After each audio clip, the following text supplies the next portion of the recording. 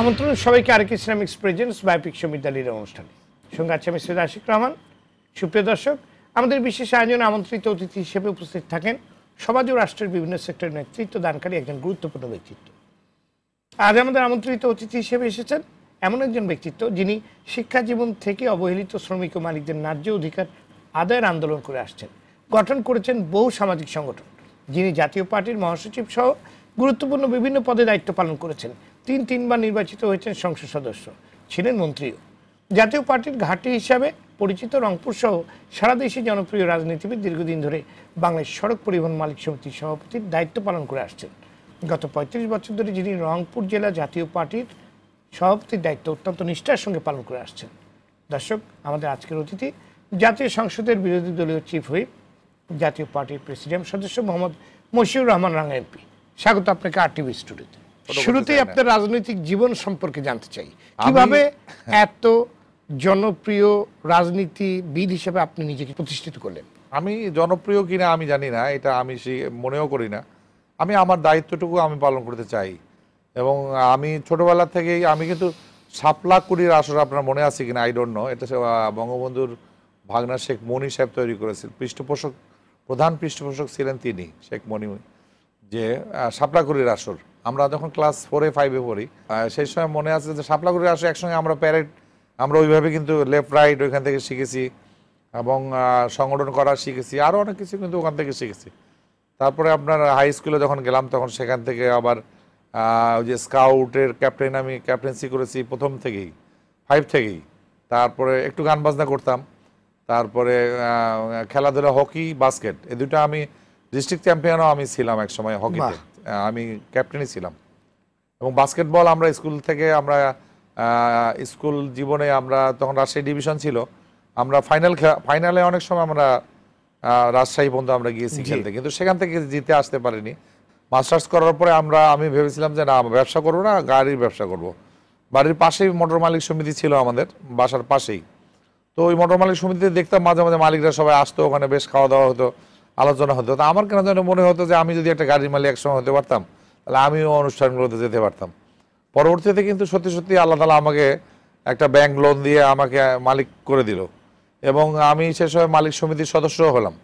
সদস্য হওয়ার পরে কিন্তু আমি মাঝে মাঝে শখের বসে আমি কিন্তু শুক্রবার করে গাড়ি চালাতাম।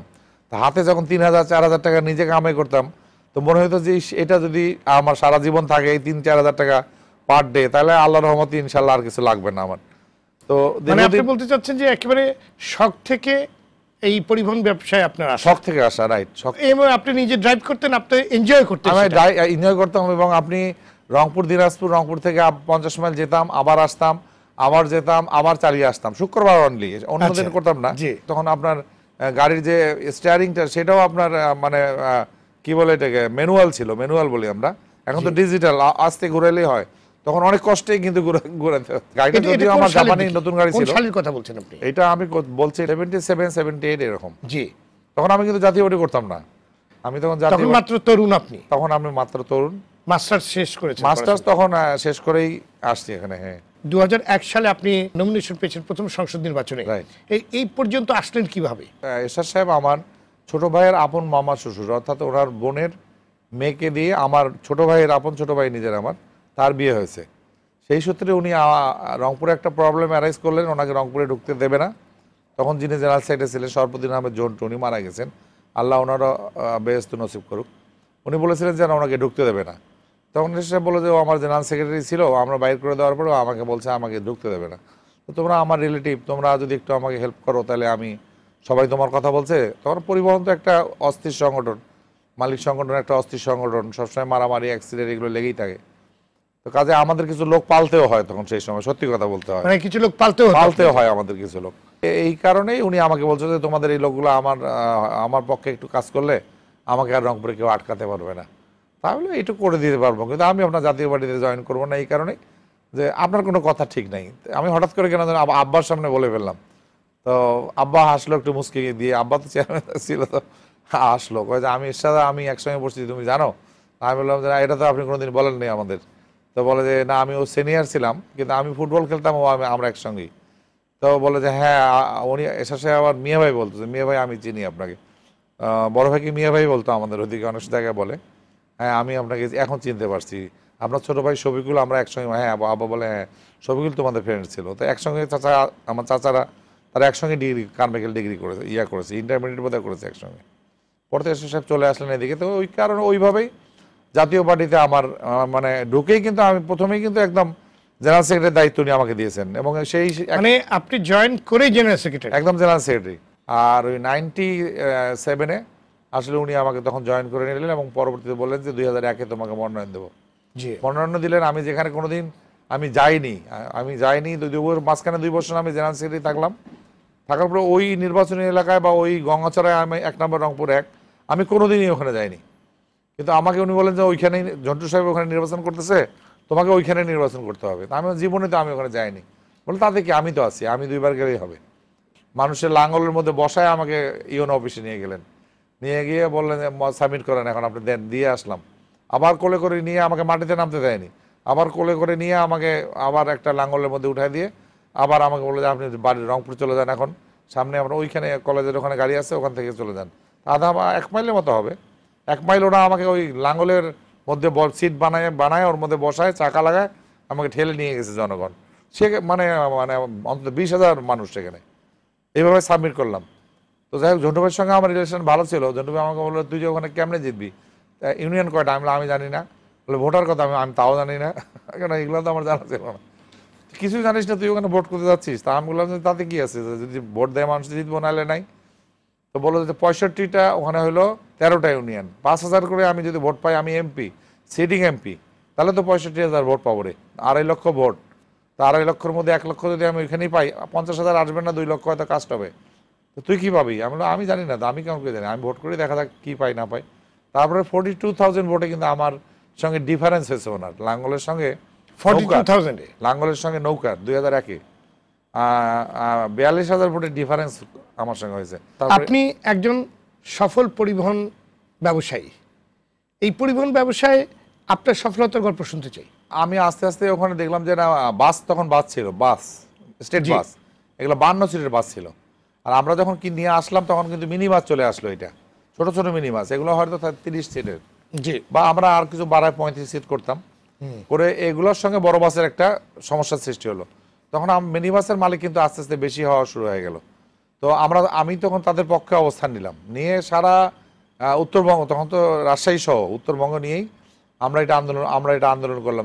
মিনি বাসের সঙ্গে এটা একটা ওয়ার আমাদের। তারা চালাবে একই রুটে, আমরাও চালাবো। প্যাসেঞ্জার যদি আমাদের গাড়িতে উঠে, তাহলে আমাদের গাড়িতে উঠবে। ওদের গাড়িতে যদি উঠে, তাহলে ওদের গাড়িতে উঠবে। তখন তো মানুষ মনে করতে যে নতুন নতুন গাড়িগুলো, এগুলো গাড়ি মিনি বাস মা এটাই আমাদের ফুল হয়ে যেত আগে। একসঙ্গে দাঁড়াতাম, পাশে এটা স্টেট বাস আর এটা হলো আমাদের মিনি বাস মিনি বাসে সব মানুষ উঠতো। তাড়াতাড়ি ফিল আপ হয়ে গেলে ও আগেই চলে যেত। তো এটাতে মালিকরা পয়সা পাওয়া শুরু করল, বেশি অনেকে বাস বিক্রি করে কেটে ফেলে, বিভিন্ন করে ছোট বাস করল। তো এই করে করে কিন্তু আমি মানুষের মানে মালিকদের মনের ভিতরে চলে গেলাম। এবং মালিক, মালিকদের যদি রাত্রি তিনটার সময় কোনো গাড়ি অ্যাক্সিডেন্ট করতো, ঢাকার কোচগুলো অনেক সময় করতো, আমি তিনটায় কিন্তু চলে যেতাম। আমার ওয়াইফে কোনোদিন না করতো না। আমি একটা মোটরসাইকেল ছিলাম, আমার ডাবল ইঞ্জিন হুন্ডা একটা মোটরসাইকেল তো এই করে করে মানুষের মনের ভিতরে বলতে যে না রাঙা সাহেবকে দিয়ে আমাদের হবে। এবং সেই সময় নির্বাচনে অনেক অনেক ভোটে জয়লাভ করছি আমি। অনেক ভোটে মালিক সমিতিতে জয়লাভ করেছি। গত সংসদে জাতীয় পার্টির পরিচয় দাঁড়িয়ে গিয়েছিল গৃহপালিত বিরোধী দল।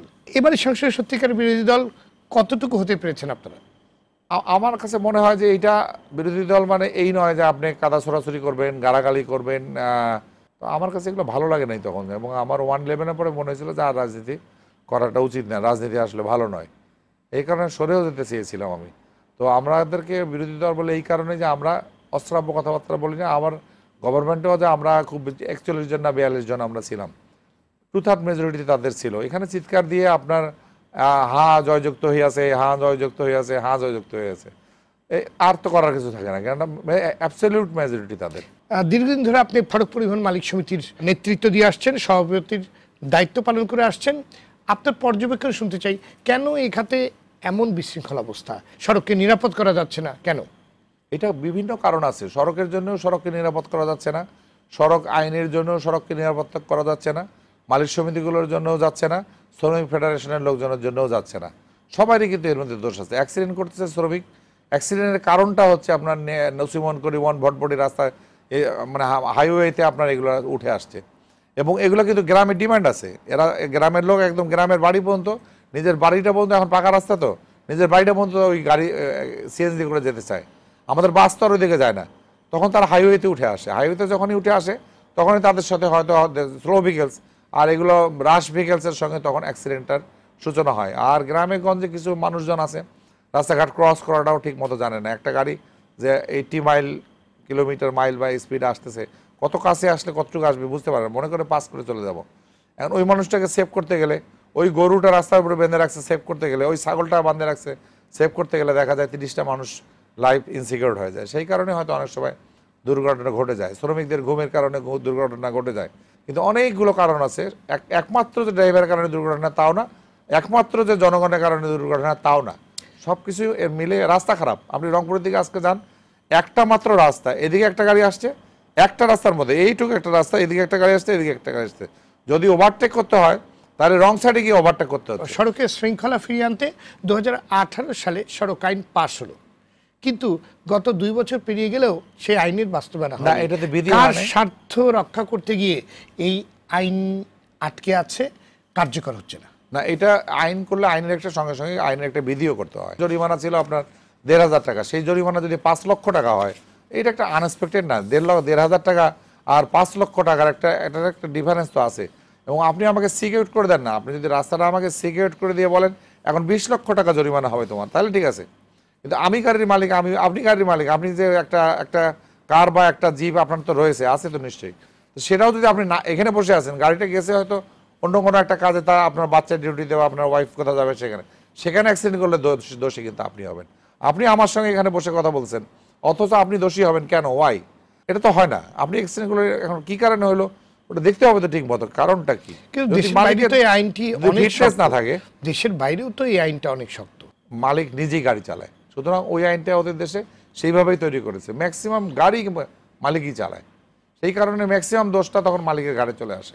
তুমি গাড়ি তোমার গাড়ি তুমি চালাইছো তুমি ফিটনেস করো নাই কেন? ফিটনেস টাইম চলে গেছে করো নাই কেন? এমনকি আমরা কদিন আগে একটি পরিসংখ্যান দেখলাম যে প্রায় সাত লাখ গাড়ি চালক অবৈধ। মানে রাস্তায় অবৈধ গাড়ি চালক আছে সাত লাখ। এটাই বা কতটুকু গ্রহণযোগ্য? এটা তো আছেই তো আছেই। আমি অস্বীকার করতেছি না আছেই। আপনার আপনি রেগুলার গাড়ি কত আসে ঢাকায় মানে রেজিস্ট্রেশনে আপনি জানেন? পঁয়ত্রিশশো গাড়ি রেজিস্ট্রেশন হয় per day per day per day thirty five আপনি বিআরটিএতে একবার খবর নিয়ে দেখেন আপনার মাথা খারাপ হয়ে যাবে। বারবার মেয়াদ এবং বরাদ্দ বাড়ানো যেন একটি অলিখিত নিয়মিত পরিণত হয়েছে। আহ, বালিশ কাণ্ড পর্দা কাণ্ড এবং বহু এরকম কেলেঙ্কারি নিয়মিত ফাঁস হচ্ছে। রডের বদলে বাঁশ যাচ্ছে।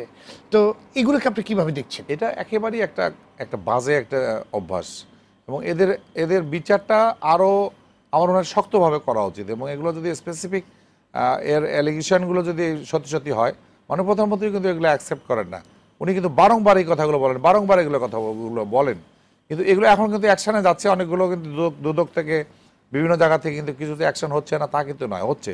না আমরা তো ইদানিং আরেকটি উৎপাত দেখছি যে রাস্তায় লাঠি নিয়ে দাঁড়িয়ে থাকে এবং থামিয়ে টাকা নেয়। না ইদানিং আমরা কিন্তু এটা একদম হার্ডলি বন্ধ করে দিয়েছি। যেখানেই টাকা নেবে সেখানেই অ্যারেস্ট হয়ে যাবে। আপনি স্পেসিফিক আমাকে এগুলো একটা নাম্বারে বলবেন যে এই নাম্বারে এই জ্ঞানে রাঙাবাই দেখলাম। আমি যদি ওই সময় বন্ধ করতে না পারি আমরা করোনাকালে সময়ে একটি ঘটনা দেখলাম যে পরিবহন শ্রমিকরা প্রচণ্ড আপনার বিপদে পড়ে গেছিল অনাহারে এবং ক্ষুধার্ত অবস্থায় দিনাপ্তিপাত করছিল। কিন্তু অভিযোগ রয়েছে চাঁদার টাকা যে পরিমাণ মালিক শ্রমিক তারা কোটিপতি হয়েছেন কিন্তু সেই টাকার কোনো অংশই তাদের কাছে যায়নি। অভিযোগ- অভিযোগটা এটা ঠিক আছে এটা ঠিক আছে এটা এবং অভিযোগটা তাদের পাশে কেউ দাঁড়ায়নি। এই যে চাঁদার টাকাটা তোলেনি এই টাকাটা কিসের জন্য? এই টাকাটা তোলা হয় সংগঠনে যারা যারা ওই টিকিট কালেক্টর আছে তারা ব্যবহার করে। একটা অফিস করতে হয় অফিসের স্টাফ থাকে অফিসের লোকজন থাকে তারপর আপনাকে বললাম যে কিছু কিছু লোক পালতে হয় যারা বিভিন্ন সময় দুর্ঘটনার কিন্তু শ্রমিকদের কল্যাণে কোনো টাকা আপনারা ব্যয় করেন কল্যাণ ফান্ডের নামেই কিন্তু এটা নেওয়া হয় এটা সত্যি আছে আমি অস্বীকার করতেছি না তো। কল্যাণ ফান্ড এবং বিভিন্ন জায়গায় কিন্তু শ্রমিক সংগঠনরা এটা ওসমান ভাই বা শাহজাহান খানের কাছে কোশ্চেনটা করলেই ভালো হতো কারণ এটা আমার আমার বিষয় নয়। দু সালের তিন ডিসেম্বর জাতীয় পার্টির প্রতিষ্ঠাতা চেয়ারম্যান এইচ এম এরশাদ তৎকালীন মহাসচিব রুহুল আমিন হালাদারকে সরিয়ে আপনাকে দলের মহাসচিব তৈরি কিন্তু কাউন্সিলের বছর পেরোতে না পেরোতেই মহাসচিব পদ থেকে আপনাকে সরিয়ে দেওয়া হলো। কি কারণ ছিল? এটা আমাদের রাজনৈতিক একটা দূরদর্শিতা বিষয় আছে। ওখানে ওখানে চেয়ারম্যান ছিলেন কাউন্সিলের চেয়ারম্যান হয়েছিলেন জি এম কাদের সাহেব। তিনিও এসএস সাহেবের ভাই এবং আমার সম্পর্কে ছোট ভাইয়ের মামা শ্বশুর হিসেবে আমিও তাকে মামা করেই বলি। তো বিষয়টা হচ্ছে যে আমি নিজেও আমি পরিবহন মালিক সমিতির সভাপতি। আমি আপনার চিফ হুইপ অপোজিশন পার্টি আমি রংপুর জেলায় জাতীয় পার্টির সভাপতি। বিভিন্ন ইয়াতে না আমি একটু মানে সমস্যার মধ্যেও ছিলাম। মানে আমি সময় অ্যাকচুয়ালি দিতে পারছিলাম না। তারপরে করোনাকালীন সময় আমার কাছে মনে হলো যে, বিভিন্ন জায়গায় যে মিটিংগুলো হচ্ছিল, এই মিটিংগুলো আমার কাছে ভালো লাগছিল না। এই মিটিংগুলো এই মুহূর্তে না করলে কি হয়? তো নানাবিধ কারণে আমি জানি না। আমি একদিন চিঠি পেলাম, তো আমি ওনাকে ফোন করলাম যে, আমাকে বললে তো আমি নিজেই রিজাইন করতাম। ওনাকে অব্যাহতি দেওয়া হলে এটা দরকার ছিল না, তো মামা বলার আমি নিজেই আমি বললে আমি রিজাইন পত্র একটা দিয়ে দিতাম। সেই সেটা সব থেকে ভালো হতো তাহলে আগের যে এসআর সাহেবও আমাকে তিনবার বহিষ্কার করছে। কাদের সাহেবকেও তিনবার বহিষ্কার করছে মামাকে আবার রসন এরশাদকেও বহিষ্কার করছেন এসআর সাহেব। তো সেই সিস্টেমটার পরিবর্তন আসতো। সেটা আমি নিজেরা এবং এখনও আমি অফিসে যাই। বাবলু সাহেবের সঙ্গে আমার সুসম্পর্ক এবং তিনিও ওই আত্মীয়তার সূত্রে উনি যে এরশাদের ভাগ্নি জামাই, আমার ছোটো ভাইও কিন্তু ওই একই ভাগ্নি জামাই। তো সুতরাং আমাদের সাথে একটা সুসম্পর্ক অবশ্যই আছে। এটা নিয়ে কোনো সমস্যা নেই। করোনার এই মহাসংকটে শ্রমিকদের জন্য আপনাদের কি কি দৃশ্যমান উদ্যোগ আছে আমি শুনব কিন্তু একটি ছোট্ট বিরতির পর। দর্শক আরেকে সিরামিক্স প্রেজেন্স ব্যাপিক সমিদারির অনুষ্ঠান নিচ্ছি ছোট্ট একটি বিরতি। সাথেই থাকুন।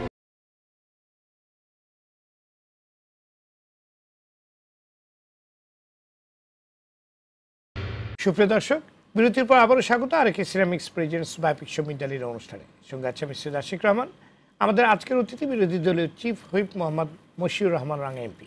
আপনাকে আবার স্বাগত আর টিভি স্টুডিওতে। আপনার কাছে প্রশ্নটি বিরতির পূর্বে আমার ছিল যে, করোনার এই মহাসংকটে পরিবহন শ্রমিকদের জন্য আপনাদের দৃশ্যমান কি কি কর্মসূচি রয়েছে? সংগঠন থেকে শুরু করে সংগঠনের কর্মচারী, তারপরে বিভিন্ন ওদের আবার বেকার ভাতা আছে। বেকার ভাতাও তারা কিন্তু প্রতিদিনই দেয়। অন্তত রংপুর মালিক শ্রমিক ইউনিয়নের, আমি তাই জানি। তারা বেকার ভাতাও প্রত্যেকদিন অনেক মানুষকে দেয়, যারা বিরুদ্ধ হয়ে গেছে, চালাতে পারে না বা দুর্ঘটনায় পা হারিয়েছে, তারা আসতে পারে না। তাদের কিন্তু পার ডে একটা টাকা দেওয়া হতো। তো সেই টাকাটা যখন তারা পাচ্ছিল না করোনার সময়, গাড়িও বন্ধ, টাকা কালেকশন হচ্ছিল না, তখন তারা বিপদে পড়েছিল। তখন অনেক সংগঠন কিন্তু তাদেরকে টাকা দিয়েছে। এবং আমাদের কাছেও আমাদের রংপুর মোটর শ্রমিক ইউনিয়ন টাকা ধার নিয়েছে আমাদের কাছ থেকে। যে এই ধারে আমরা শোধ করে দেবো, আমাদের কাছে টাকা নেই, আমরা এই টাকাটা যখন গাড়ি চলবে, তখন আমরা আপনাদের শোধ করে দেবো। তারাও কিন্তু দিয়েছে বিভিন্ন জায়গায়। এবং সাজার খান নিজে শ্রমিক ফেডারেশন শ্রমিক আর আমাদের ওসমান সাহেব নিজে তারা কিন্তু শ্রমিকদের দিয়েছে। এবার আপনার সংসদীয় আসন নিয়ে কথা বলতে চাই। আপনি তিনবারের সংসদ সদস্য। আপনার সংসদীয় আসনে উল্লেখ করার মতো কি কি উন্নয়ন আপনি করেছেন? সব থেকে বড় হচ্ছে যে ওখানকার একটা দুঃখ ছিল সেটি ছিল যে ওখান থেকে যদি আপনি রংপুর থেকে যদি আপনি আহ, লালমনিরহাটে যেতে চাই- চাইতেন তাহলে আপনাকে অন্তত আশি কিলোমিটার রাস্তা বেশি ঘুরতে হতো রংপুর থেকে।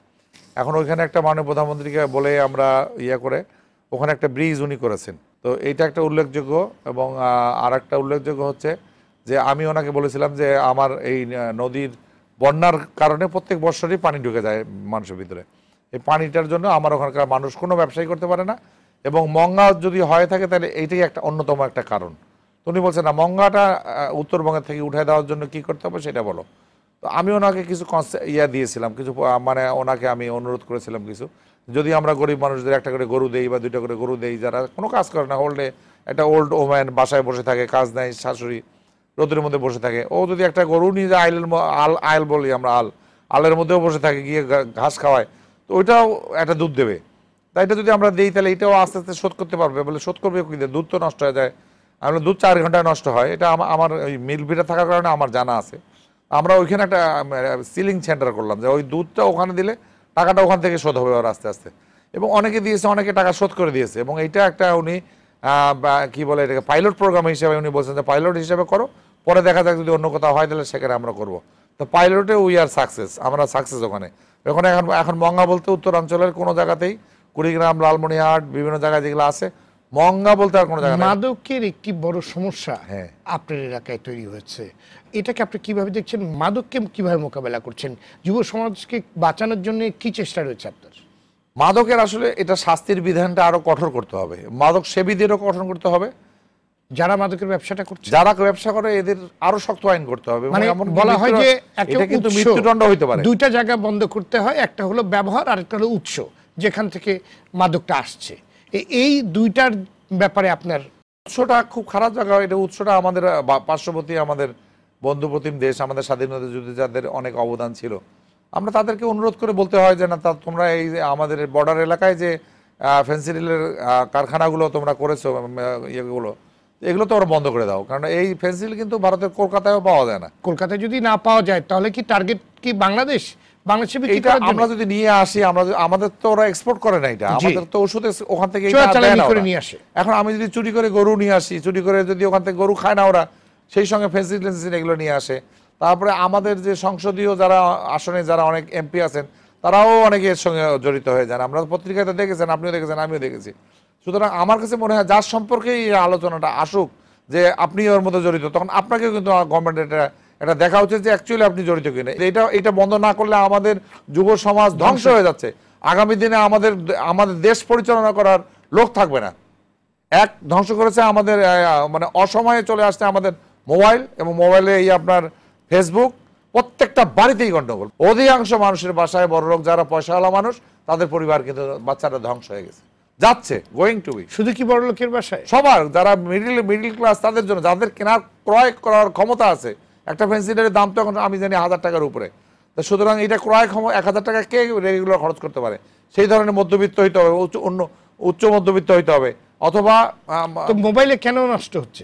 কারণটা হচ্ছে যে সারা রাত ধরে মোবাইল দেখছে হোল নাইট সারা হোল নাইট এখন আমাদের ছেলেদের একটার বেশি দুইটা রুমে বাচ্চারা থাকতে চায় না যে না আমরা তো চার ভাই ছিলাম একসঙ্গে ঘুমাইতাম মায়ের সঙ্গে বা বাবার সঙ্গে। আমার মা ছোটবেলা মারা গেছে দাদির সঙ্গে ঘুমাইতাম আমরা দাদির গলা জড়ায় ধরে ঘুমাইতাম। এখন দে আর নট বিলিভ ইট তারা এটা মনেই করে না তারা বাবা মায়ের সাথে হয়তো দেখা হয় যে সাত দিনেও কারোর সঙ্গে কারও দেখা না এক মাসে কোনো মোবাইল নিয়েই থাকে। অল টাইম মোবাইল এবার আপনার ছোটবেলার কথা শুনতে চাই। কোথায় বড় হয়েছেন কোন স্কুলে পড়েছেন? ছোটবেলায় আমরা বললাম তো যে ক্লাস ওয়ানে যখন পড়ি তখনই মা মারা গেছেন। মা মারা যাওয়ার পরে রংপুরে আসছি রংপুর সালমা স্কুল তার আগে কোথায় ছিলেন? তার আগে আমার লালমনিহাটে আমাদের গ্রামের বাড়ি লালমনিহাটে লালমনিরহাটে। লালমনিহাটে হাতিবান্ধা থানায়। আমার বাবা চেয়ারম্যান ছিলেন ছোটবেলায় আপনি মা মারা গেলেন তাহলে কি দেখভাল করেছেন দাদি করেছেন দাদি দাদি হ্যাঁ। দাদিকে নিয়ে আমরা রংপুরে চলে আসি চলে আসার পর ওখানে লেখাপড়া শেষ করে ওখান থেকেই ধরেন যা কিছু করার আর কি। এই ছোটবেলা থেকেই দুরন্ত ছিলাম। আমার দাদি বলে যে তো ও আমার চেহারাটা নাকি দাদার মতোই অনেকটা। দাদা লম্বা চৌড়া ফসা ছিল উনি হজে মারা গেছেন জান্নাতুল বাকিতেই ওনার দাপন কাপন হয়েছে হজ হজেই উনিশশো বাষট্টি সালে। তো তখন থেকে দাদি আমাকে খুব ভালোবাসতেন। ছোট থেকে ওনার কোলেই ঘুমাইতাম আমি সবসময়। এখন কে কে আছে আপনার পরিবারে? এখন আমার বড় বোন সে নিজে দাদি নেই আমার বড় বোন আছে। আমার আমার নিজের আমার আমার একটি ছেলে একটি মেয়ে আমার একটি বউ। ছেলে? অসুস্থ। ছেলে এম শেষ করেও এখন আমার ব্যবসাগুলো দেখছে। ব্যবসাগুলো মেয়ে এম করতেছে। ছোটবেলা থেকে সংগঠন করেছি স্কাউটিং তারপরে আপনার ক্যাডেট তারপরে এগুলো সব আমার আমি করেছি এবং কেউ কেউ আছেন যারা রাজনীতিকে দ্রুত টাকা কামানোর হাতিয়ার হিসাবে ব্যবহার করছে কিংবা চিন্তা করে সেভাবেই আপনি রাজনীতিকে আসলে কোন দৃষ্টিকোণ থেকে দেখেন আমি তো দেখি এটা লস এটা আসলে Loss? লস এটা লাভের কিন্তু লস না। কীভাবে হবে আপনি রাজনীতি না, আমি বেতন পাই। আপনি মন্ত্রী হয়েছেন না আমি বেতন পাই কিন্তু আমার বাসায় যে সকালবেলাও মনে করেন পাঁচ সাতজন লোক তারা ভাত খেলো আমার সঙ্গে একসঙ্গে এটা তো ভালো আপনি। অর্থবিত্তের মালিক না, না, আপনি তো মানুষকে খাওয়াবেনি না না অর্থবিত্তের ঠিক ওই সেন্সে না আমার বাবার যদি কিছু জমি থেকে ভাগ পেয়েছে সেটাই কিন্তু আমার আমি যেটা করেছি সেটা আমার নিজের হাতেই আমি গাড়ি চালাই ইয়ে করে সেটা আমি করেছি এবং অনেক সময় আমাকে অনেকে বলেন যে আপনারা তো চান্দা উঠে আপনারা তো একটা ভাগ পান। তো আমি আপনাকে একদম মানে মানে একদম মানে সত্যি বলতেছি যদি আমার নামে কোনো জায়গাতে দশটা টাকা বা পাঁচটা টাকা চান্দার শব্দ আপনি পান আমি সঙ্গে সঙ্গে আমার সমস্ত পদ ইয়ে থেকে আমি পদত্যাগ করব। আপনার কাছে আমার শেষ প্রশ্ন ভবিষ্যতে বাংলাদেশকে আপনি কেমন দেখতে চান? ভবিষ্যৎ প্রজন্মটাকে আমাদের সেভ করা দরকার এবং আমাদের আমাদের ছেলেরা ইন্টালেকচুয়াল আমাদের নাতিরা আমার I have a grandson he is very talent সেও আমি দেখছি যে একটা তারা তো এই দুর্নীতি দুর্নীতি তারা বোঝে না এগুলা। এগুলো জানেও না শুনেও না এরা এই শব্দটারও ঠিক মানে বোঝে না ওরা। তো এই যে এদেরকে বাঁচাতে গেলে আমাদের যেভাবে দেশটা চলছে এর থেকে এই দুর্নীতি মুক্ত করতে পারলেই আমাদের কিন্তু সোনার বাংলা বঙ্গবন্ধুর যে বাংলা সোনার বাংলা এই সোনার বাংলাকে কিন্তু আমরা তৈরি করতে পারি। জি ধন্যবাদ। ধন্যবাদ আপনাকে আমাদের আজকের আলোচনায় অংশগ্রহণ করার জন্য। আপনাকে অনেক ধন্যবাদ। আপনাদের অগণিত দর্শককেও ধন্যবাদ। দর্শক আরেক ইসলামিক প্রেজেন্স বাই পিকশন মিডালিরা আজ পর্যন্তই। আগামী সপ্তাহে আবার অনুষ্ঠানটি দেখার আমন্ত্রণ রইল। সবাই ভালো থাকুন, সুস্থ থাকুন। আর টিভির সঙ্গে থাকুন।